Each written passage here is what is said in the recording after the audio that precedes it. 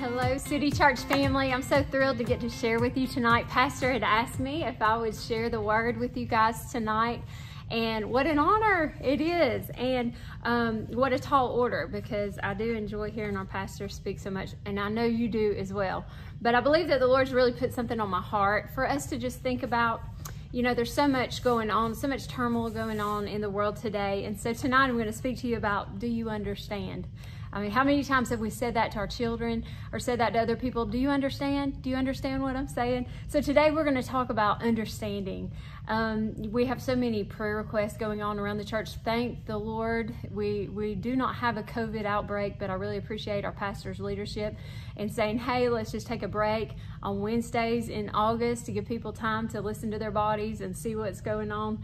Um, we hate not getting together midweek. I love our midweek services, but praise God for technology where we can all come together tonight um, as one online and to share the gospel as well. So let's be praying for our church family because they do have relatives and, and extended family members who are sick with COVID, but also just various uh, things going on in Afghanistan. Of course, we need to be praying for the missionaries, be praying for the people there, for even the, the lost souls there, that salvation and revival take place in the midst of this heavy affliction. So um, right now we're going to go ahead and open up with prayer and um, then we'll jump into the word. Let's go ahead and pray. Lord, I thank you so much for today. I thank you for the body of Christ. I thank you for the people of City Church. I thank you so much for the opportunity that we can come together, we can open your word, and we can learn together. Lord, thank you for your precious word, your powerful word that's sharper than any two edged sword. Lord, right now, we just lift up the people of Afghanistan. Lord, we pray protection, Lord, upon the Christians of Afghanistan.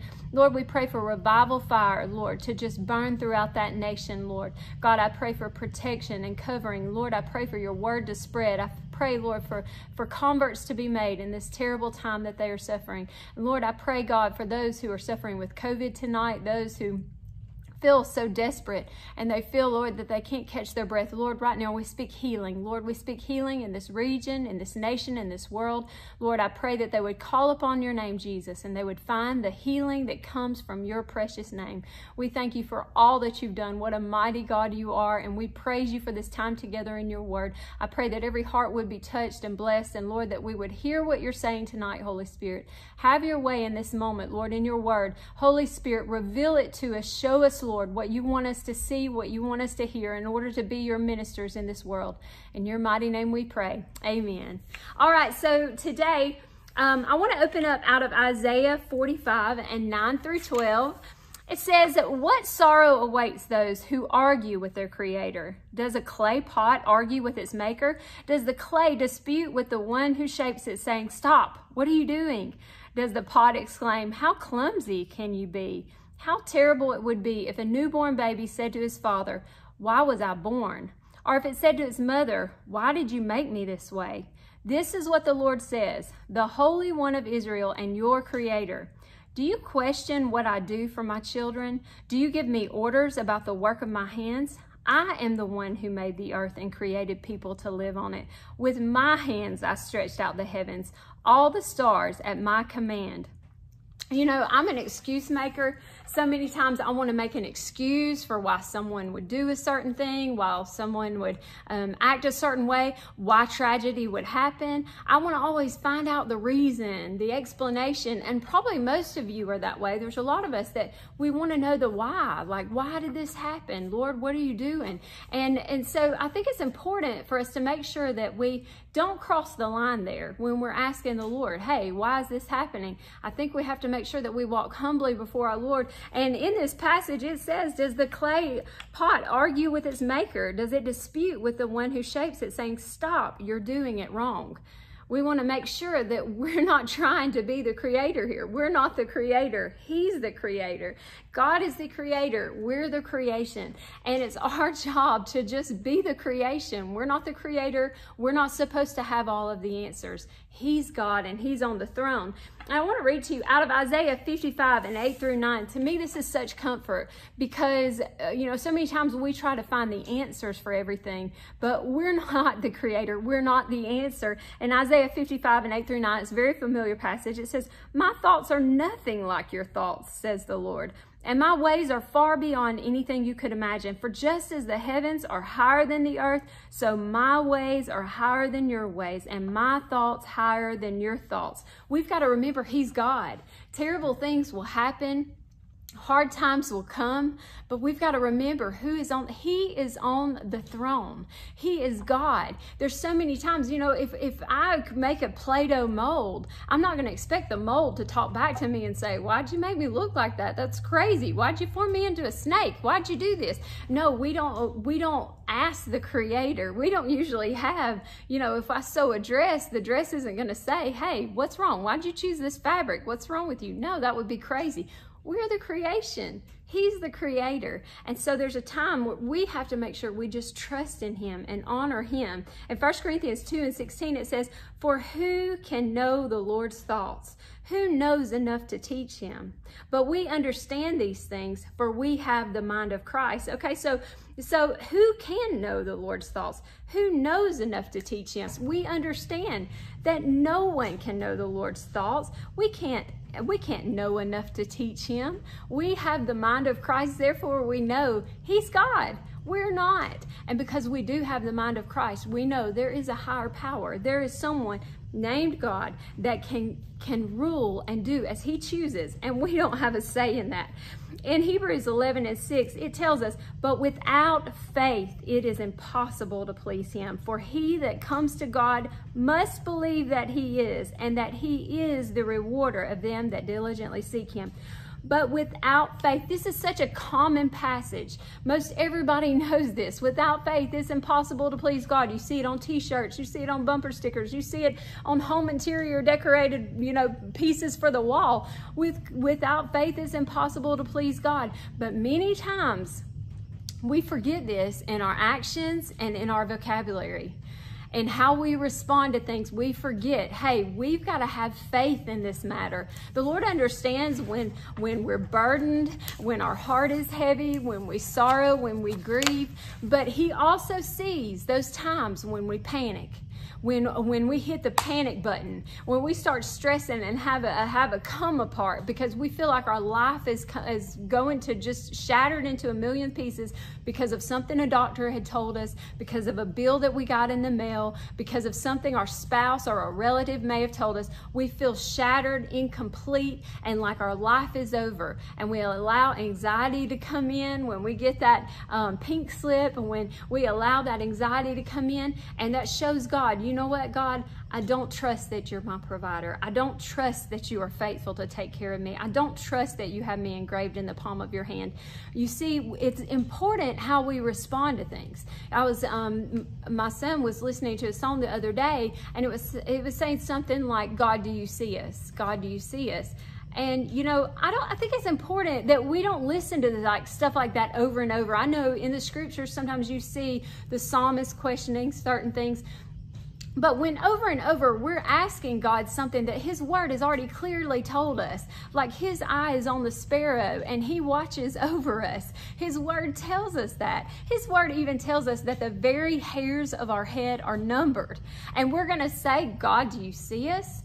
Where is the faith in that? No, we have to stop. We have to take control of this unruly member because many times this unruly member, it's showing God what we believe in. Are we going to believe the report of the world? Or are we going to believe the report of the Lord? And we've got to show that by, by our actions, by what we say, by how we respond. Yes, life will knock you down. Yes, you will have hard times. But when that comes, you must go into your prayer closet. You must go into that the presence of the Lord and pour your heart out and say, you know what? It's okay to say, God, I don't understand, but I know that it's all working together for my good. I say this all the time and it probably burns people out, but I've learned this when I was a young child that all things work together for the good of those who love the Lord and are called according to his purpose. That one simple scripture, if all of the word is, is wiped away from us, if we have that one scripture and know that all things work together for the good of those who love the Lord and are called according to his purpose. Do you love the Lord? Are you called according to his purpose? Then guess what? Even when it hurts, it's working together for your good. In fact, it tells us in James to count it all joy. To count it all joy. Count every single one of these trials that you fall into. Count them as joy because God is giving us what we need. You know, when you have a newborn baby and they get a congested nose, and you have to take that big blue bulbous thing with the tip on it and you have to stick that in their nose and you have to suction things out. You know what? That child is thinking, What are you doing? You are trying to suck my brains out. They're traumatized and they're miserable. But we, as the parents, know that they're not going to be able to breathe properly at night when they're sleeping. They, we know that they're going to feel better when that comes out. You know what? There's so many times that there's a big blue bulbous thing that sometimes it feels like it's being shoved up our nose. But God's saying, you know what? If you'll be patient, if you'll count this as joy, I've got you. I've got you right now in the palm of my hands, and I know it hurts, but you don't see the big thing. You see, that newborn, that toddler does not see the big picture. All they know is there's a big blue thing being shoved up my nose and making a hideous noise. And they don't understand, but we understand. Guess what? The Creator, He understands what's going on. We can't. Our finite minds are not big enough to know what the Creator is doing. And He also knows that there's a thing called eternity. What is here and now is quickly passing away. It will quickly dissolve away. It's like a vapor. And so the Lord is trying to do a perfect and complete work in us. So we got to stay on that potter's wheel. We can't say, That's it. I don't understand. I'm done. I'm out. Give it up. No, because then you're not going to see that perfect and complete work accomplished in your life. You don't understand it, but we trust Him. That's what we have to say. God, I don't understand, but I trust you. You see, there's a difference in how the believers respond to adversity, how they respond to evil things happening in the world. We don't understand it. It's heartbreaking, it's upsetting, but all we can do is pray and trust that the Lord is going to work this together. He's taking care of his people, He's taking care of the ecclesia, the church, and making sure that they get to the other side in victory and also that his word will run swiftly. And so in Ephesians 1 and 18, the apostle, he's praying for the body of Christ, and he prays that the eyes of your understanding be enlightened. You see, it's God's desire for our understanding to be enlightened. And so, so many of the people, and people in the world would feel like your understanding would be enlightened by reading droves of books. Reading is great. We should all read. Reading is important. But we can't count on our understanding coming from a college class, a university class, a seminary, a seminary semester. We can't depend upon our understanding to come from there because we as the believers, we understand in a different way, in the only way that true understanding comes. And he is asking, the apostle was praying that our understanding would be enlightened, for it to be enlightened. So as we grow in Christ, our understanding should be enlightened. But then in Ephesians 4 and 17, we see the flip side of that principle. Ephesians 4 17 through 18, his word says, this I say, therefore, and testify in the Lord that you should no longer walk as the rest of the Gentiles walk, in the futility of their minds, having their understanding darkened. They walk in the futility of their minds, and as a result, their understanding is darkened.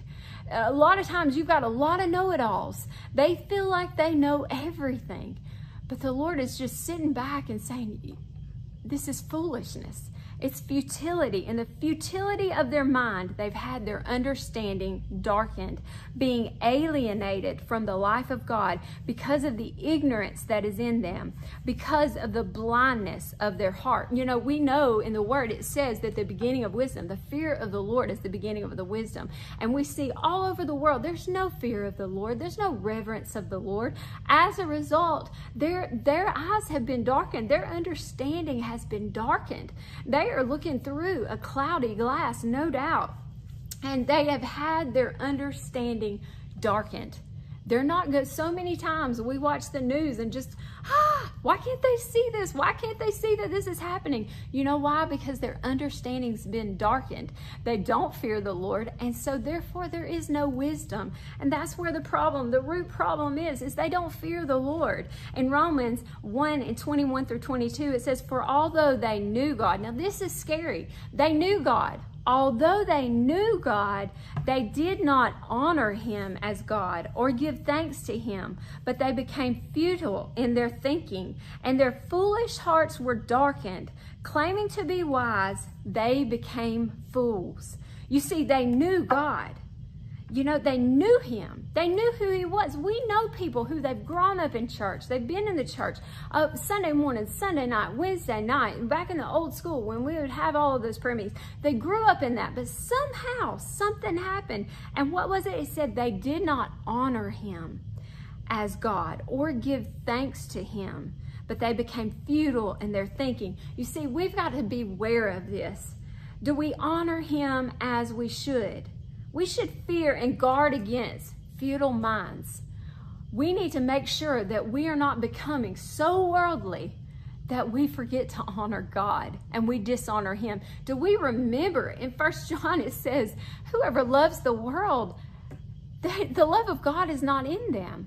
It's not our job to love the world. Yes, we love souls. We want to see souls won. But this world has absolutely nothing for us. Do you understand that the enemy, the adversary of our soul, he wants to steal, kill, and destroy us, each and every one of us. So when we start thinking the world's just so cute, and so cute that we've got to go ahead and miss all the services that are available to worship the Lord. We've got to go ahead and take our tithe money and put it in the cuteness of the world.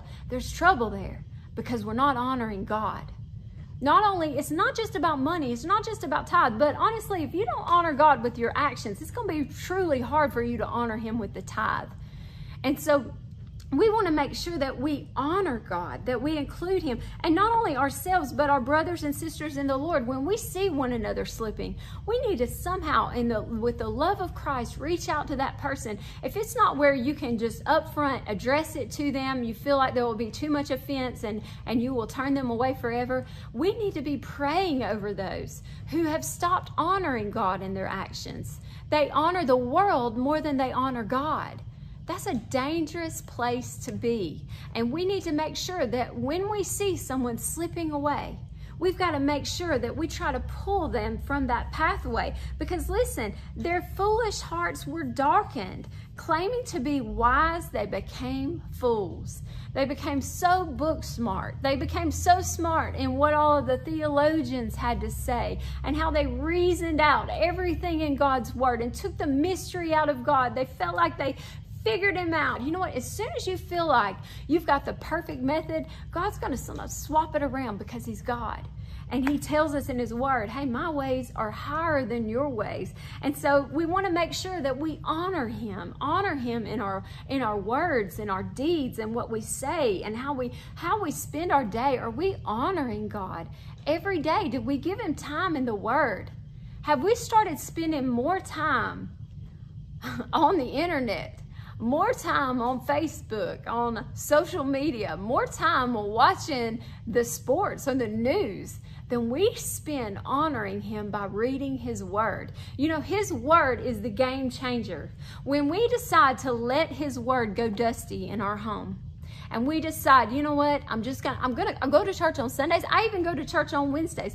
Listen, let me tell you something. You've got to have that daily adjustment you know what happens? You know, what? foot washing, you can look at this. You know, Jesus saw foot washing as important. He washed the disciples' feet. And listen, foot washing was important because, listen, they would go through, they would go all through um, the dusty roads with sandals on, and they would, they would go and they would get so dusty, and you can imagine what those feet would get like, just cruddy and yucky and gross. And then they'd have to go in and they would wash the dirt off of their feet. You know what? As we walk through this world every day, we are so surrounded by so many influences. We see so many YouTube videos. We see so many shows. We hear so many uh, controversial things, so many arguments. Guess what that is? That's dust. That's the worldly dust all over us. And we've got to wash our feet with the Word of God by getting in, cracking over that book every single day. Do you want to make, make it to heaven?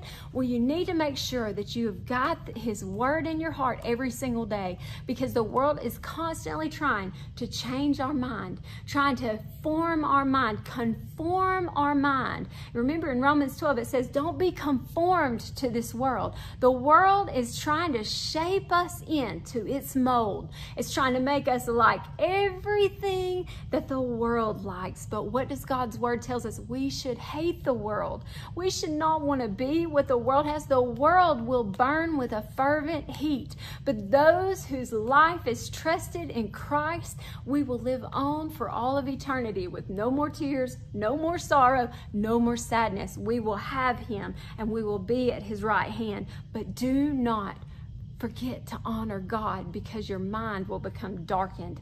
We don't want to have a darkened mind. We want our understanding enlightened. And then do we, so in Hebrews 11 and 3, it says, by faith we understand the worlds were formed by the word of God. It's by faith that we understand that the world was created. It's not by books. We can't go and find a, a, a, science book that'll tell us the recipe for how the world was formed. No, the book we find is God's holy word that says that it was formed by the very words of God. And humanity cannot understand that. There's a joke about a scientist who said, You know what, God? I've decided we don't need you anymore. We have found out how to clone a human and we're good. You can go off and continue in your day of rest. We don't need you anymore. And God patiently listened. He said, okay, I'll tell you what, let's do something fun. Let's have a man making contest. The scientist, yeah, I like that idea. Let's get that. So the scientist is ready, game on. He pulls up a big pile of dirt and God said, no, no, no, you get your own dirt. You see, God, with his very words, he created dirt.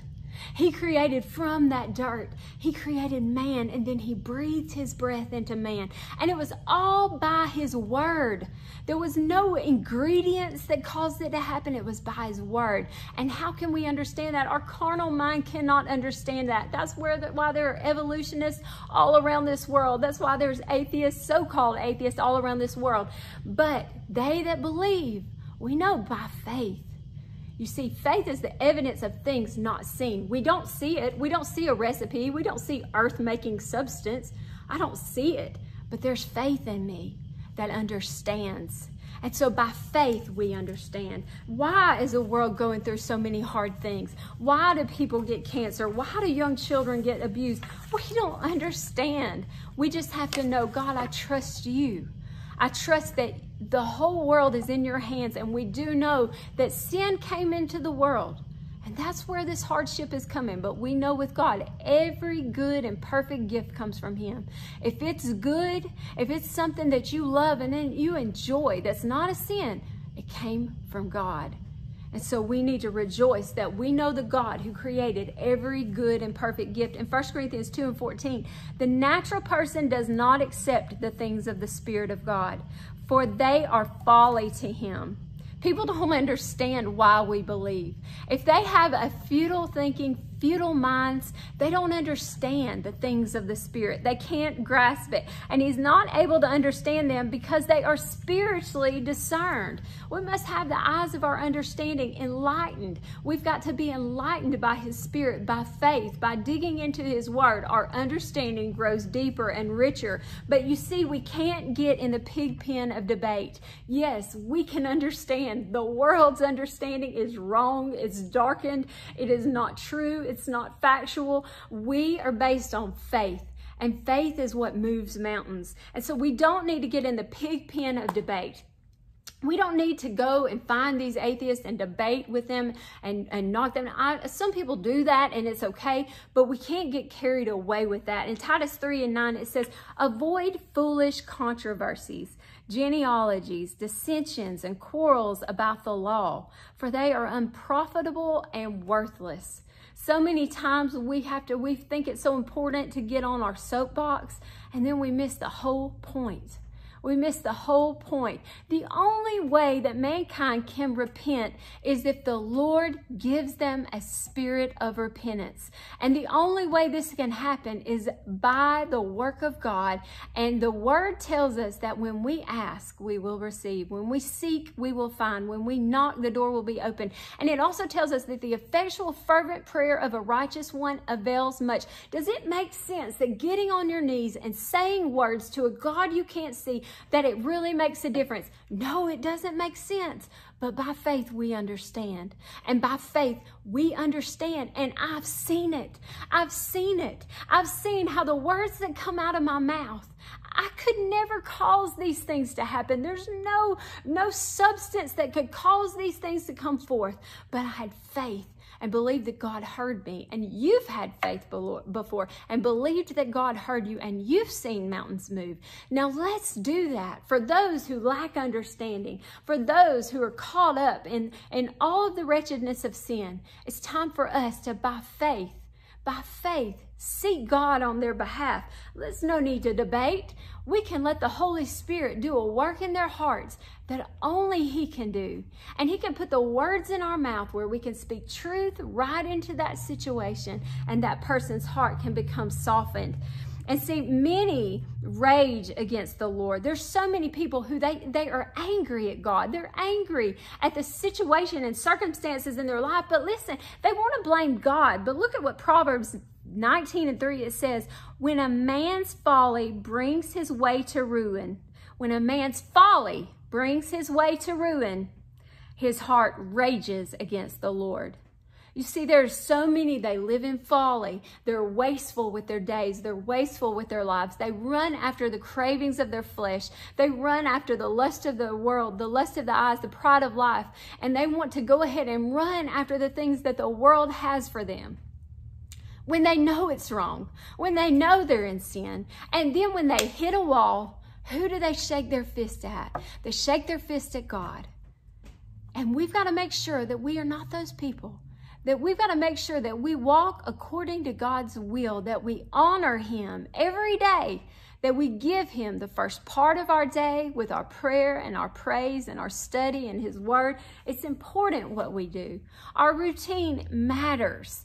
It shows God. It's important to God. God had a routine. In seven days, He created the world, and on the seventh day, He rested. He had a routine. He had a routine at the certain part of the day. He would walk with Adam and Eve.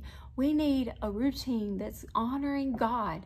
Show Him that you honor Him by starting off the first part of your day by saying, God, I give you this time. Read his word and pray and seek him and watch God move in your home, in your life, in your family, and watch the eyes of your understanding be enlightened. That's what I want. I want my understanding enlightened. It's not going to come from a huge university degree. Don't get me wrong. Education is fantastic. It's great.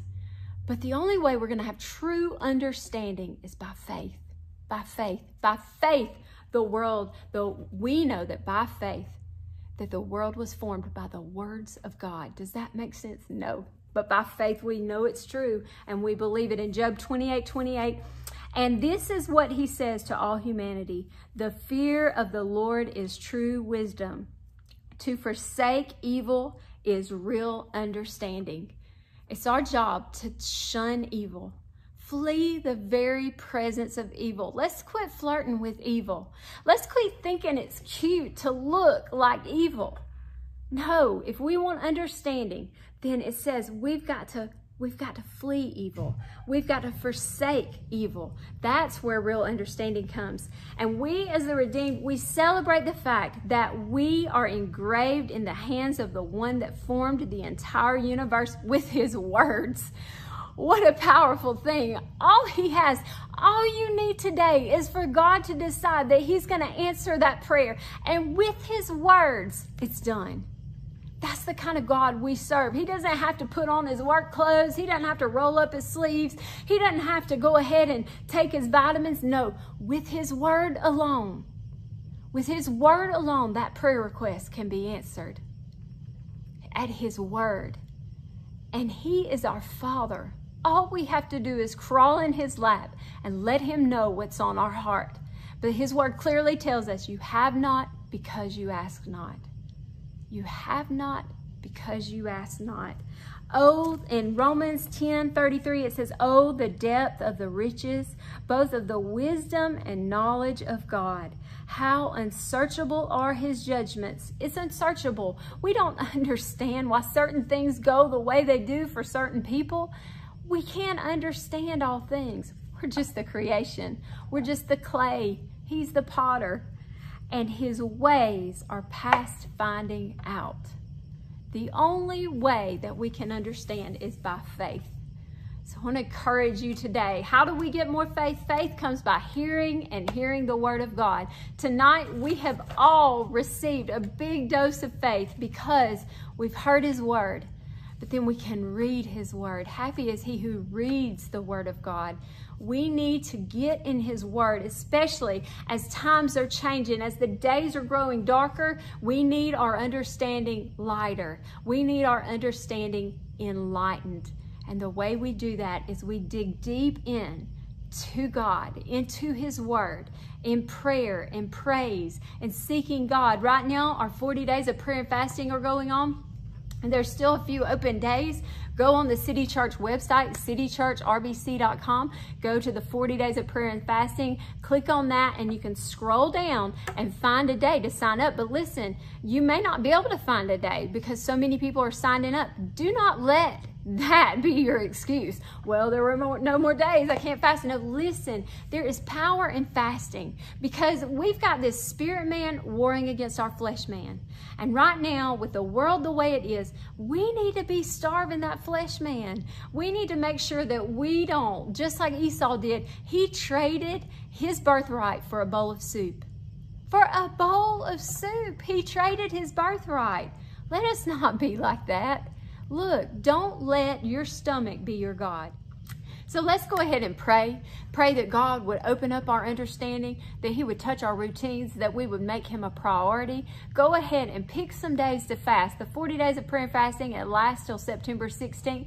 Go ahead and dig into that. What I like to do when I fast, I like to listen to different podcasts on fasting, listen to some different people who have done, who have fasted for extended fast. You'll see, you'll feel so wimpy by just fasting one day. I mean, you see these people fasting 40 days and you're like, my goodness, I need to, need to step up my my game. But let's go ahead and commit together and fast and pray. Our world needs Jesus. I need Jesus. You need Jesus. Let us pray.